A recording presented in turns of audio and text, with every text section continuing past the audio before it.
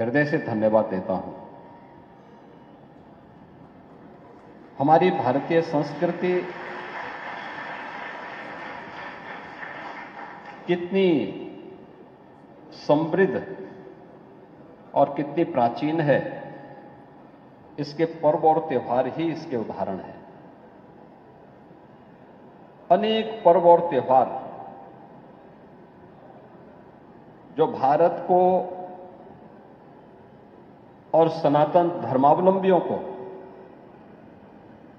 उसके इतिहास की किसी न किसी महत्वपूर्ण कड़ी के साथ जोड़ देते हैं। आज वैदिक साहित्य जिस रूप में हम सबको देखने को मिलता है, जिस ऋषि की कृपा से यह सब प्राप्त हुआ, जिन्होंने वेदों को, पुराणों को अन्य महत्वपूर्ण शास्त्रों को हम सबको उपलब्ध करवाया। ऐसे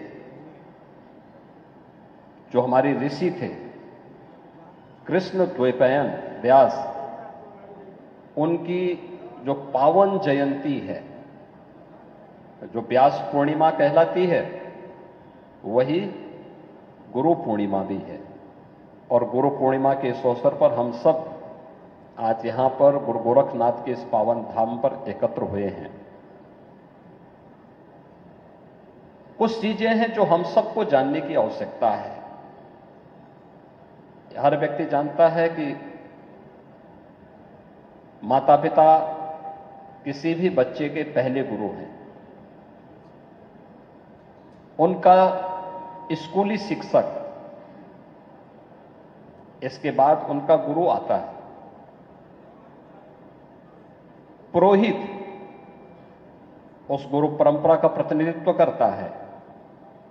बड़ा भाई भी गुरु के रूप में ही पूज्य माना जाता है। और ऋषि परंपरा, संतों की परंपरा भी उस गुरु परंपरा का प्रतिनिधित्व करता है। हमारे यहाँ, हमारे गोत्रों की परंपरा भी उसी के साथ जुड़ जाती है। हम लोग अपने किसी एक कार्यक्रम को आगे बढ़ाने के लिए दीक्षा के साथ भी जुड़ जाते हैं। इन सब के पीछे का उद्देश्य क्या है? एक ही है जो हमें अच्छे मार्ग पर अग्रसर कर सके। माता पिता बच्चे का सबसे पहले हितेशी होंगे। बड़ा भाई हितेशी होगा। परिवार के बड़े बुज़ुर्ग हितेशी होंगे। स्कूली शिक्षक हितेशी होगा। पुरोहित कुलगुरु हितेशी होगा। ऋषि परंपरा हितेशी रही होगी। इसीलिए हमने उसे गुरु के रूप में मान्यता देकर के एक महत्व दिया, जो हमारे अनुकूल है, समाज के अनुकूल है। देश काल और परिस्थिति से अप्रभावित है, वो हमारे लिए पूज्य हो गया। हमने उसे गुरु के रूप में मान्यता देकर के एक महत्व दे दिया।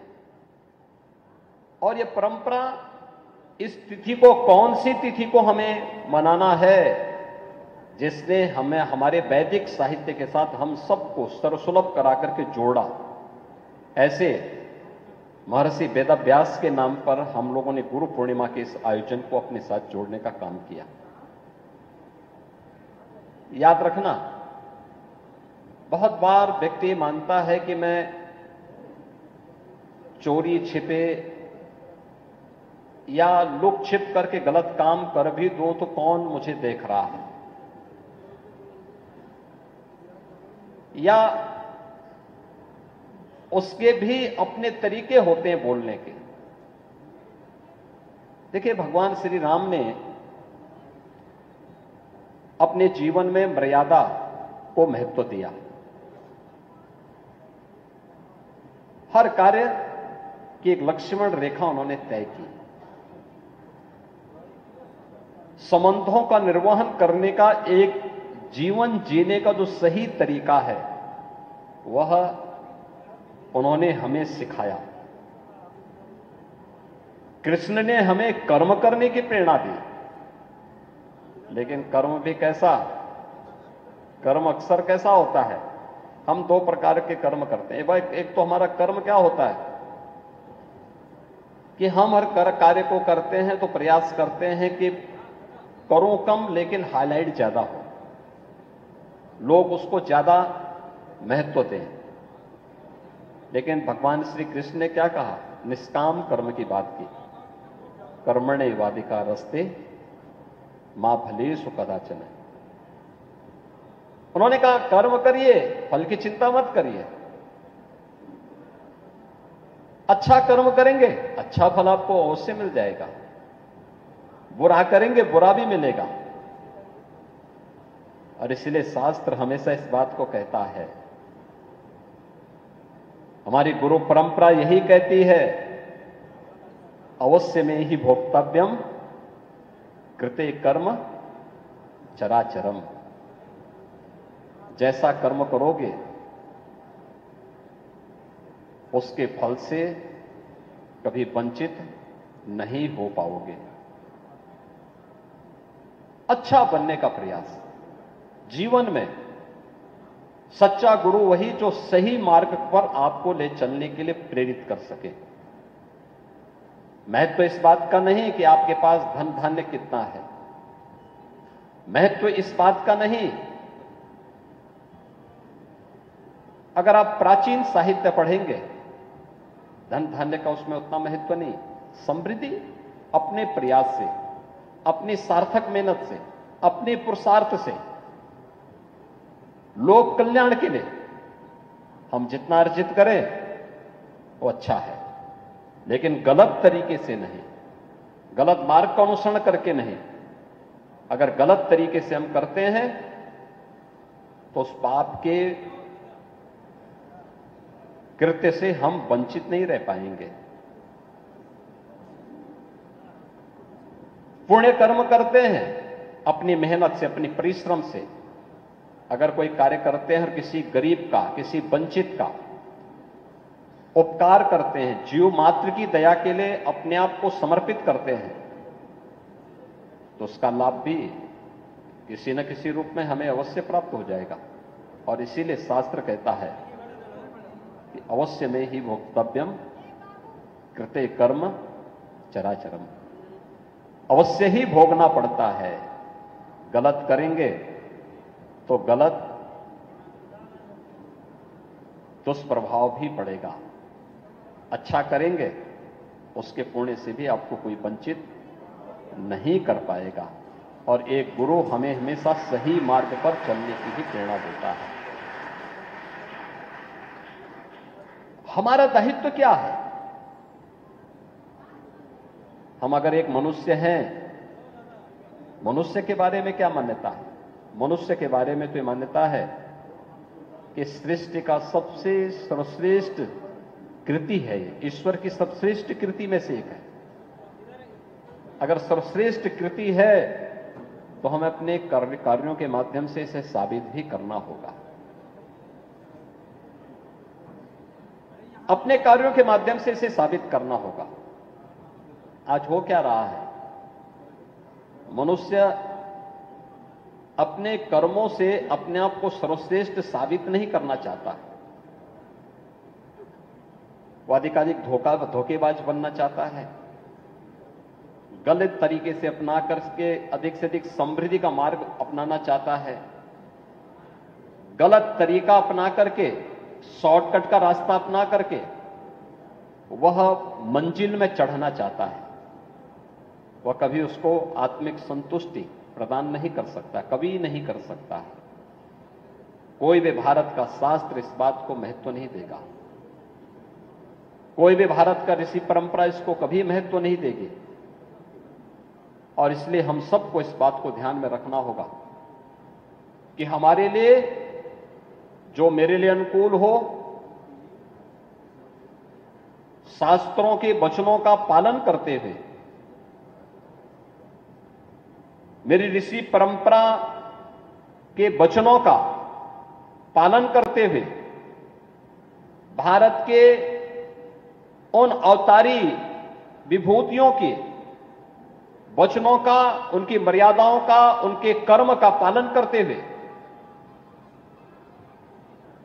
हम जो आचरण करें, वह मेरे लिए भी अनुकूल हो, मेरे परिवार के लिए भी अनुकूल हो। लेकिन केवल मेरे परिवार के अनुकूल हो और समाज के लिए अनुकूल न हो तो फिर आपका उससे भी उपकार नहीं होने वाला है।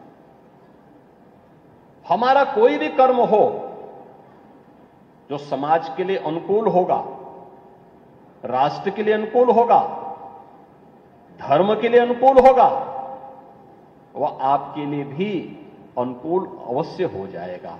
और इसीलिए कोई भी कर्म करें, सनातन धर्म की इतनी लंबी परंपरा, इतनी समृद्ध परंपरा,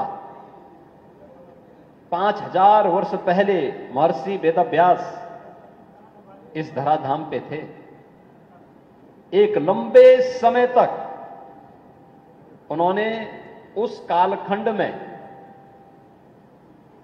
उन्होंने उस समय कई पीढ़ियों का प्रतिनिधित्व किया। सभी ग्रंथों को संग्रहित किया, वेदों को, पुराणों को। उनका संग्रह करके, उसे लिपिबद्ध करके, वर्तमान पीढ़ी के लिए उसे अनुकूल बना दिया। पाँच हज़ार वर्षों के इस इतिहास को आज गुरु पूर्णिमा के रूप में आप इस आयोजन के साथ जुड़ करके अपनी ऋषि परंपरा के प्रति कृतज्ञता ज्ञापित कर रहे हैं। मैं पूछना चाहता हूँ, पाँच हज़ार का इतिहास दुनिया के अंदर कितने लोगों का है? कितने लोगों के पास पाँच हज़ार वर्षों का अपना इतिहास है? नहीं है। और यह तो कालखंड है कौन सा? द्वापर और कलयुग के संधि काल है ये। ये उस संधि काल का समय है, जब एक तरफ़ द्वापर का अवसान होता है, कलयुग का प्रारंभ होता है। महाभारत का एक युद्ध होता है। और युद्ध के बाद आज भी आप देखते होंगे। उस समय महर्षि बाल, महर्षि वेदव्यास ने जो अपना अंतिम पुराण रचा, श्रीमद् भागवत महापुराण, आज भी मोक्ष का, मुक्ति का, उससे पवित्र ग्रंथ दूसरा नहीं माना गया। हम उसके प्रति कृतज्ञता ज्ञापित कर रहे हैं। अपनी ऋषि परंपरा के प्रति कृतज्ञता ज्ञापित कर रहे हैं। अपनी उस परंपरा के प्रति। भारत की ऋषि परंपरा कभी अपने लिए नहीं जी लोक कल्याण के लिए, राष्ट्र के कल्याण के लिए। और इसलिए हम सब का भी दायित्व क्या होना चाहिए? मुझे लगता है कोई भी भारत का सनातन धर्मावलंबी नहीं होगा,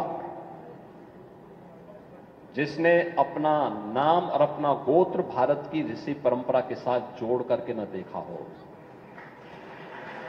कोई ना कोई ऋषि हमारे साथ जुड़ जाता है। जब हम गोत्रों की बात करते हैं तो जाति भेद अपने आप समाप्त हो जाता है। एक ही गोत्र अलग अलग जाति के लोगों के पास भी है। क्योंकि हम ऋषि के साथ जुड़ रहे हैं। वह ऋषि परंपरा हमें जाति भेद में नहीं बांटती छुआछूत और अस्पृश्यता का भेदभाव हमारे बीच में नहीं करती है। और इसी परंपरा हम सबको लोक कल्याण के लिए, राष्ट्र कल्याण के लिए समर्पित करती है। और इसीलिए आज के इस अवसर पर मैं आप सबसे भी यही कहूँगा कि हमारा एक एक कर्म, हमारे जीवन का एक एक क्षण, हमारे जीवन का एक एक पल सनातन धर्म के लिए और अपने देश के लिए भारत के लिए समर्पित होना चाहिए। अगर हम इस कार्य के साथ जुड़ करके आगे बढ़ते हैं तो सही मायने में हम अपने गुरु परंपरा के प्रति कृतज्ञता ज्ञापित कर रहे हैं। यही गुरु परंपरा के प्रति कृतज्ञता है। किसी भी ऋषि परंपरा ने इन कार्यक्रमों को उसी रूप में आगे बढ़ाया है। याद रखना, जो मैंने यहाँ पहले भी कहा अच्छा करेंगे तो अच्छा पुण्य भी आपको, उसका पुण्य भी आपको प्राप्त तो होगा। कोई उससे वंचित नहीं कर पाएगा। गलत करेंगे, उसके पाप से भी कोई आपको वंचित नहीं करेगा। एक छोटी सी कथा आती है ना? दुनिया का सर्वश्रेष्ठ महाकाव्य रचने वाला, जो ऋषि हुआ, उनके बारे में पहले कहते हैं कि पूर्व जन्म में उनके जो कर्म थे वो गलत थे। एक जगह उन्होंने कुछ ऋषियों को बंधक बनाया। ऋषियों ने पूछा, हमें क्यों बंधक बनाना चाहते हो? उन्होंने कहा भी मेरा कर्म है, मेरा कार्य है ये। तो उन्होंने कहा, इससे जो पाप तुम्हें मिलेगा, इस पाप के लिए कौन कौन जिम्मेदार होंगे? उसने कहा, जिनको मैं खिला रहा हूँ सबको। ऋषियों ने कहा कि, ठीक है, हमें यहाँ रोक हम यहाँ इंतज़ार कर रहे हैं, जाओ, पूछ करके आओ। ये जो लूटपाट तुम करना चाहते हो, कर रहे हो। जो जो तुम्हारे साथ भागीदार बनना चाहते हैं, क्या वे पाप में भागीदार बनना चाहेंगे क्या? ये जो लूट का माल तुम ले जाना चाहते हो, क्या इसके होने वाले पाप के साथ वे भागीदार बनेंगे? तो अपने घर पहुँचता है। अपने परिवार के लोगों से कहता है कि मैं रोज लूट पाट करके पैसा लेके आता हूँ संपत्ति लेके आता हूँ, कुछ माल लेके आता हूँ। क्या इससे होने वाले पाप के साथ तुम भी वंचित रहो? हो, तुम भी मेरे साथ भागीदार बनोगे? तो उनके, स्वयं के परिवार के लोगों ने कहा पाप तुम करोगे। तुम्हारे पाप के साथ हम क्यों भागीदार बनेंगे? तुम लेके आते हो, हम खाते हैं। तुम मेहनत करो तुम मेहनत करके खिलाओ। हम तेरे साथ हाथ बटाएँगे, लेकिन पाप में हाथ नहीं बटा सकते, और तुम्हारे पाप के लिए तुम जिम्मेदार हो। परिवार के लोग भी तो उसके आगे खुली। वो चला आया वापस। ऋषियों को उसने प्रणाम किया और कहा कि मेरी मुक्ति का मार्ग बताओ। ऋषियों ने मुक्ति का मार्ग बनाया, बताया। और परिणाम क्या हुआ? दुनिया का सर्वश्रेष्ठ महाकाव्य रचा गया और वह त्रिकालदर्शी ऋषि हुए थे। यह भारत की परंपरा है। याद रखना, पाप करेंगे, पाप में अकेले भागीदार बनेंगे, कोई सहभागी नहीं बनने वाला है। और पुण्य करेंगे, उस पुण्य से कई पीढ़ियाँ कई पीढ़ियाँ आपके साथ जुड़ करके आपको और आपके यशस्वी जीवन को अपने लिए प्रेरक बताएगी। आज के इस अवसर पर जब गुरु पूर्णिमा के इस पावन पर्व पर आप सब यहाँ पर उपस्थित हुए हैं गोरखपीठ गुरु परंपरा की पीठ है। गुरु गोरखनाथ से चली हुई परंपरा और आज उसी परंपरा का निर्वहन करते हुए पीठ निरंतर कार्य कर रही है। लोक कल्याण के लिए, राष्ट्र कल्याण के लिए अपने आप को समर्पित भाव के साथ कार्य कर रही है। उसी परंपरा के साथ आप सब जुड़े हुए हैं। आप सभी श्रद्धालुओं ने यहाँ पर एक सप्ताह तक श्री राम कथा का श्रवण किया। मुझे समय नहीं मिल पाया कि मैं इस दौरान कथा में आ सकूँ। मेरी इच्छा थी, लेकिन मैंने जो देखा, मैं कथा के बारे में जानकारी लेता था, मुझे बहुत अच्छा लगा कि काफ़ी बड़ी संख्या में श्रद्धालुजन कथा में आते थे, श्रवण करते थे। और यहाँ पर संत हृदय बालक दास जी महाराज के श्रीमुख से इस राम कथा का सुनने का अवसर आप सबको प्राप्त हुआ होता है, हुआ है, इस बार हुआ है। इस क्रम निरंतर चलता रहे। जीवन के कुछ पल तो होने चाहिए जब हम लोग गाली गलौज से ऊपर उठ करके, अन्य कार्यों से ऊपर उठ करके भगवान का नाम जब स्मरण कर सकें और एक कथा के माध्यम से ही संभव हो पाता है।